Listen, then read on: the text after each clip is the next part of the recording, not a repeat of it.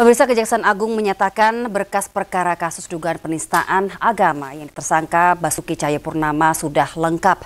Namun publik mempertanyakan kejaksaan yang tidak melakukan penahanan pada Ahok.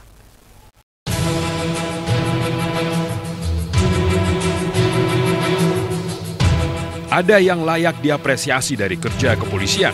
Penyidikan kasus dugaan penistaan agama dengan tersangka Basuki Cahayapurnama alias Ahok langsung dinyatakan sempurna oleh jaksa.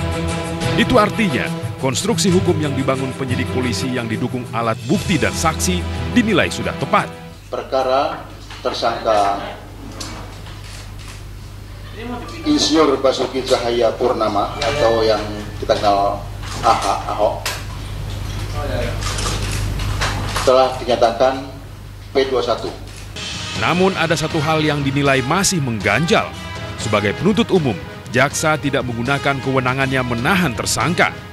Padahal jaksa penuntut umum menggunakan pasal 156 dan pasal 156A KUHP yang dinilai mengganggu ketertiban nasional. Profesionalitas uh, Pak Jaksa Agung dalam mengawal uh, kasus Ahok ini menuntut Ahok masuk tahanan dan Ahok di penjara. Itulah sebabnya mengapa sejumlah pihak menilai Jaksa Agung HM Prasetyo cukup berperan dalam kasus Ahok.